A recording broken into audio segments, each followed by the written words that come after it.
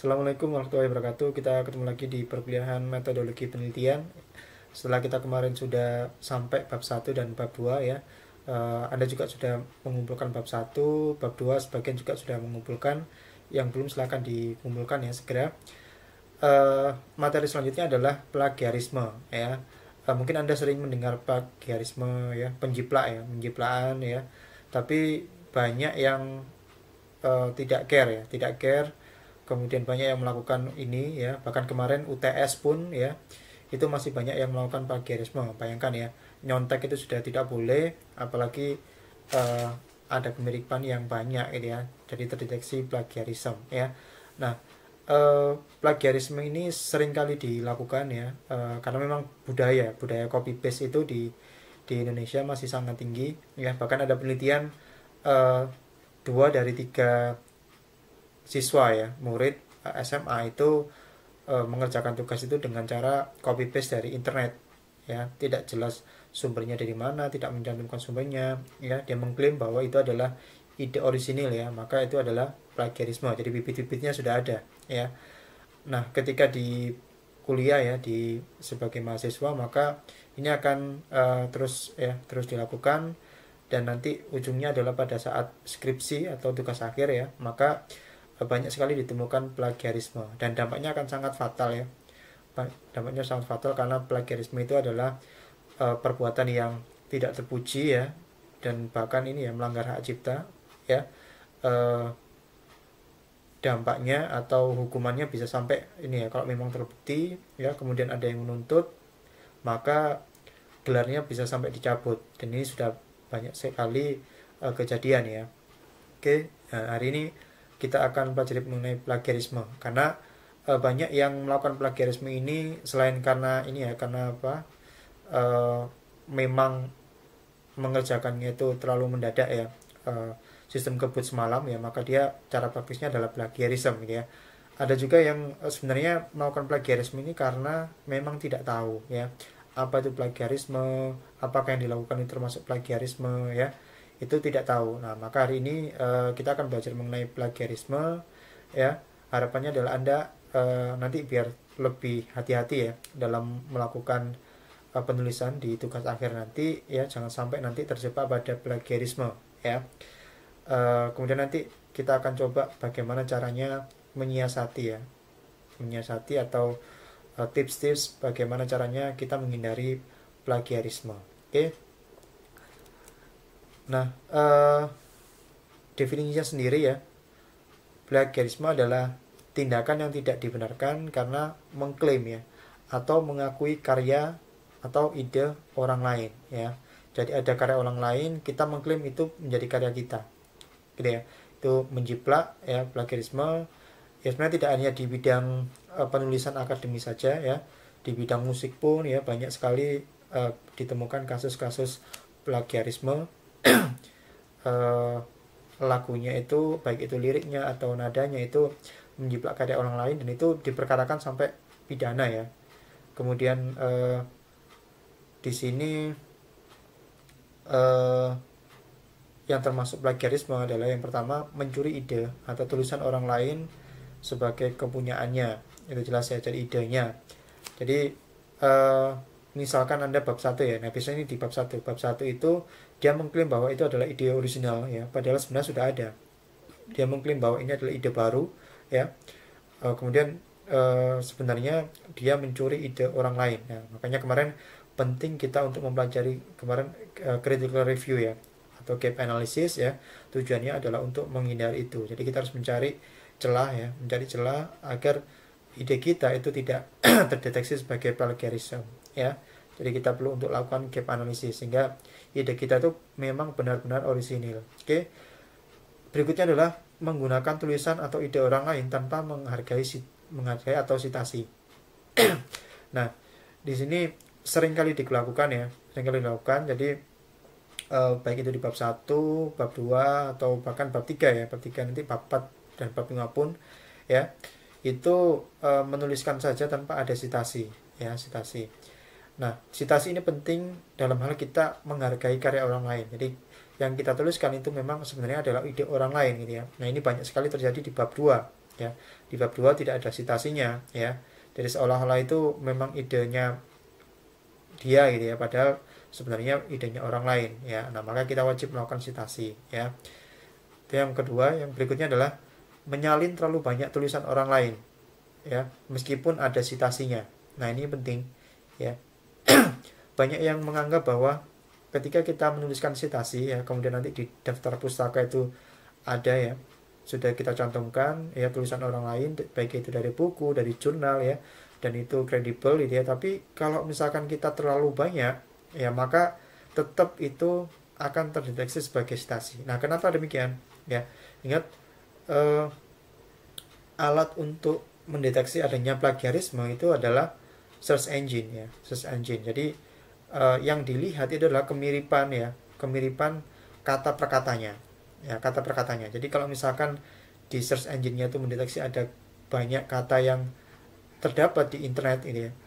Jadi biasanya uh, eh, TA atau skripsi itu kan diupload ya diupload di internet. Kemudian nah mahasiswa yang pengen praktis biasanya dia cari ya dia cari kemudian dia copy paste di bab 2 nya dia ya di bukunya juga sama ya buku uh, e-book ya kemudian dia tinggal copy paste ke dalam bab nya dia dia merasa sudah ada citasinya maka dia nggak akan uh, dianggap sebagai plagiar plagiarisme ya padahal uh, cara kerjanya search engine itu adalah mencari ya mencari apakah ada kesamaan ya atau kemiripan kalimat-kalimat ya atau kata-kata itu di di database-nya dia. Nah, kalau misalkan ada uh, kemiripan ya dia deteksi ada kemiripan. Maka ya search engine itu akan secara tegas mengatakan bahwa itu plagiat.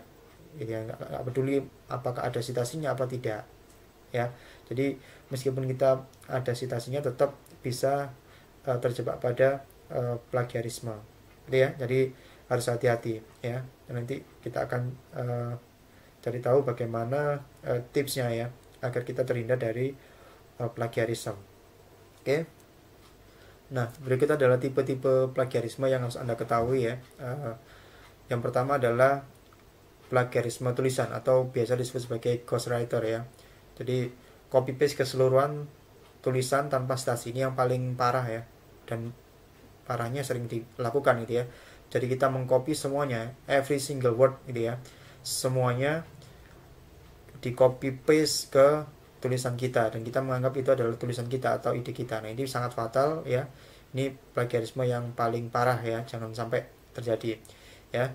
Kemudian yang kedua adalah potluck gitu ya, menggabungkan beberapa sumber dan mengklaim seolah tulisan original. Jadi e, misalkan kalimat pertama itu ngambil dari referensi A gitu ya. Kalimat kedua dari referensi B, kalimat comot-comot itu ya. Comot satu, comot lain, kemudian digabungkan menjadi sebuah paragraf. Nah, paragrafnya ini kita klaim sebagai uh, punya kita atau ide kita. Nah, ini juga sama ya, meskipun terlihat kreatif tapi ya kreatif dalam hal yang salah ya. Ini tetap akan terdeteksi sebagai plagiarisme dan ini tidak boleh. Oke. Berikutnya adalah self plagiarism. Nah, kok bisa self plagiarism? Artinya kita menjiplak ya. Ya, menjiplak atau meniru karya kita sendiri. Ya, jadi misalkan kita sudah pernah melakukan penelitian dan itu kita publish ya. Kemudian pada saat kita melakukan penelitian baru, nah ini uh, sering kali kita uang punya kita sendiri ya nggak apa-apa ya kita kita copy paste sendiri kan nggak apa-apa. Nah itu tidak boleh ya itu namanya self plagiarism jadi tidak boleh juga kita melakukan plagiarisme terhadap karya kita yang sudah terdahulu ya. Jadi karya baru ya tentunya harus uh, harus ini ya orisinil lagi gitu ya.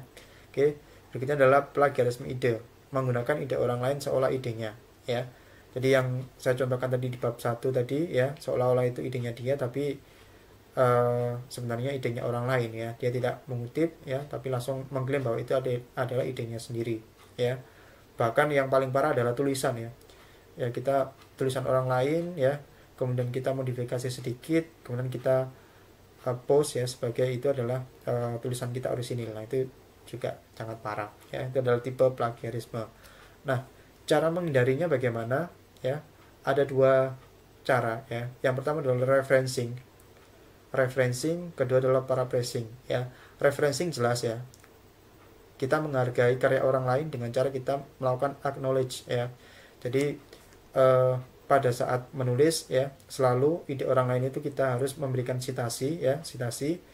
Misalkan eh, keselamatan kerja adalah bla bla bla bla bla misalkan ya Anggun, 2019 nah itu citasi ya. Citasi kemudian eh, semua yang disitasikan itu nanti di daftar pustaka harus ada. Nah itu referencing namanya. Nah eh, yang kedua ya yang kedua adalah para pressing nah para pressing jadi referencing saja ternyata tidak cukup. Karena kalau referencing maka kita terjebak dengan eh, semua referensi yang ada itu kita copy paste ke dalam uh, TA kita gitu ya ke penelitian kita tulisan kita kemudian kita memberikan citasi dan daftar pustaka maka itu beres gitu ya.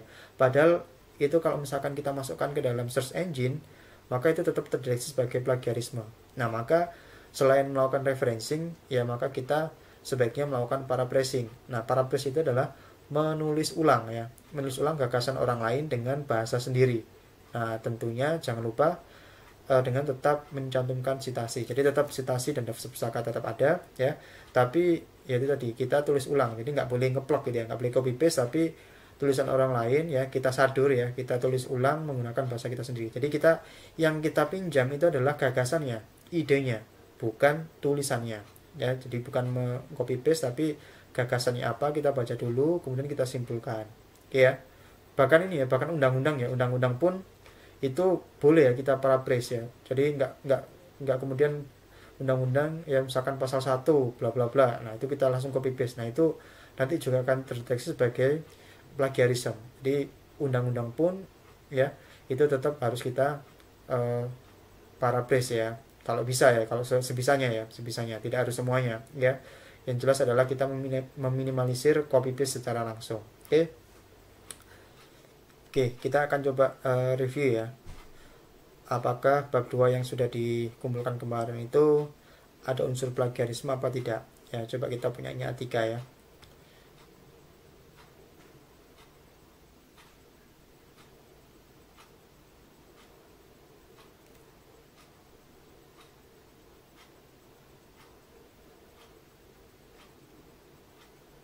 Oke. Okay ini uh, bab 2 nya A3 ya. Kita akan cek ya menggunakan uh, alat ya. Uh, search engine pemeriksa plagiarisme online ya. Oke kita tunggu dulu. Oke. Nah ada banyak ya. Ada yang software ada yang online seperti ini ya. Alat pemeriksa plagiarisme. Kita coba upload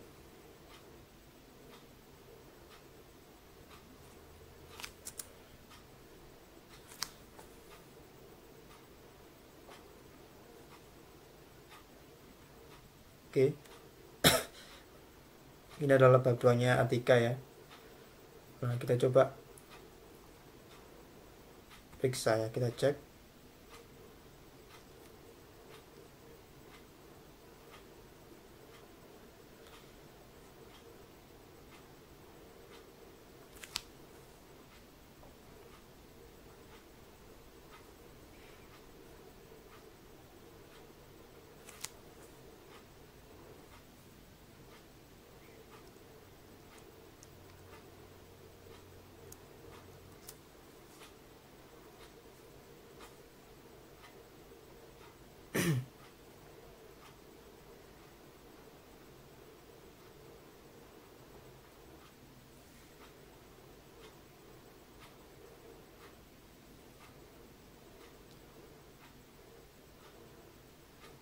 Nah, oke. Okay. Ini adalah hasilnya ya. Jadi uh, terdeteksi 28% plagiat ya. 28% plagiat sedangkan sisanya orisinil ya. Oke, meskipun ya kita nggak tahu ya apakah 72% ini uh, benar-benar orisinil ataukah misalkan ya misalkan ya nggak tahu ya uh, atau misalkan uh, ngopi paste tapi sumbernya itu tidak diupload di internet sehingga tidak terdeteksi. Ini kan yang terdeteksi kan yang ada di internet saja, yang ada di database-nya dia, ya. Oke. Nah, kita bisa trace di sini sumber sumbernya dari mana ya. Ini dari artikel ini uh, similarity-nya 25% kemudian dari sini kemudian sumbernya dari sini dari sini dan seterusnya ya nah bahkan ketika mengkutip ya mengcopy dari Undang-Undang Nomor 1 Tahun 70 maka terdeteksi terdeteksi uh, sebagai plagiarisme ya jadi tidak usah tidak usah di copy paste semuanya anda bisa ini saja. Misalkan eh, Undang-Undang Nomor 1 Tahun 70 ya itu menjelaskan bahwa bla bla bla gitu ya. Jadi tidak harus mengcopy semua kata sama ya tapi anda bisa menyimpulkan ya boleh. Oke ini semuanya ya. Nah oke. Jadi itu adalah cara mendeteksi apakah ada plagiarisme apa tidak ya. Nah kita akan coba cek ya. Misalkan kita cari yang ini ya yang yang yang di yang ada warnanya biru ini itu adalah yang uh, ini ya yang yang terdeteksi ada kemiripan atau plagiarisme nah kita akan coba ini ya.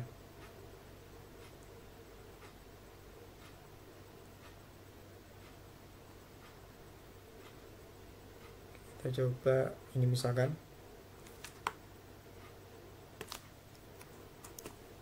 Oke. Ya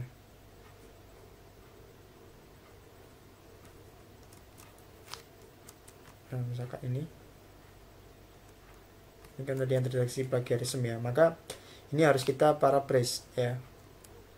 Kita para press agar tidak terdeteksi sebagai plagiarisme. Jadi keselamatan dan kesehatan kerja merupakan hal yang penting bagi perusahaan karena dampak kecelakaan dan ini tidak hanya merugikan karyawan tetapi juga perusahaan baik secara langsung maupun tidak langsung. Ya misalkan ini. Keselamatan dan kesehatan kerja atau ini aja ya langsung langsung aja ya. Langsung K3 gitu.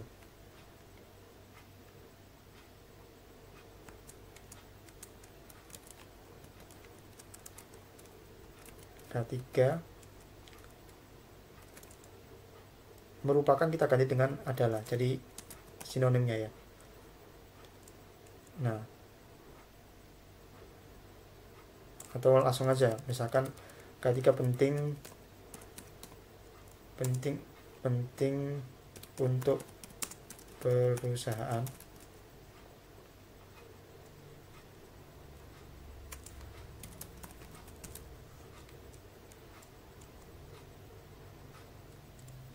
Karena dampaknya karena dampaknya jika menghiraukan keselamatan bekerja akan berdampak pada kerugian. Akibat kecelakaan kerja. Misalkan seperti ini ya. Misalkan seperti ini ya ya jadi uh, idenya sama sebenarnya ya idenya adalah ketika itu penting karena kalau misalkan tidak dilakukan maka nanti perusahaan akan rugikan itu kan idenya ya Nah, maka kita tuliskan itu dengan kalimat kita sendiri. Nah, jangan lupa nanti kita berikan citasi. Misalkan H3 2019 misalkan ya. Misalkan sebenarnya dari situ, ya. Nah, begini ya. Itu contohnya. Maka kita coba cek ya. Apakah terdeteksi plagiarisme.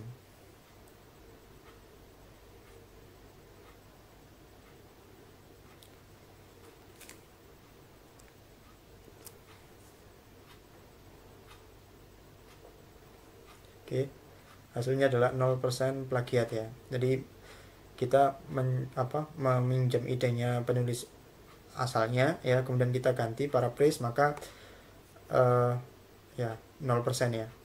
Berarti kan sini 0% gitu ya. Jadi itu adalah tips ya uh, cara untuk kita menghindari plagiarism ya. Jadi tidak cukup kita melakukan citasi tapi uh, adalah ada kalanya kita harus melakukan uh, paraphrasing ya terutama kalau kita ini ya kalau kita uh, akan mempublikasikan penelitian kita jadi ya. Uh, meskipun di PPNS sendiri ya di PPNS sendiri untuk TA itu masih belum mewajibkan untuk para pressingnya jadi asalkan ada citasi pun itu sudah dianggap tidak plagiarism ya. Tapi ingat ya uh, ketika publikasi nantinya dan kita nggak tahu ya regulasinya kalau misalkan uh, tahun anda TA itu nanti uh, plagiarisme itu diketatkan sehingga nanti ada checker ya dari P3M misalkan ada uh, dicek ya dicek plagiarisme uh, seperti apa dan kemudian software ya yang dipakai adalah software gitu ya. Maka ya mau nggak mau anda harus melakukan paraphrasing karena uh, mesin itu tidak peduli apakah anda itu melakukan citasi apa tidak ya. Yang jelas ketika ada di database-nya itu ada kemiripan ya maka anda ya secara tegas dinyatakan sebagai uh, tulisan anda plagiat plagiat gitu ya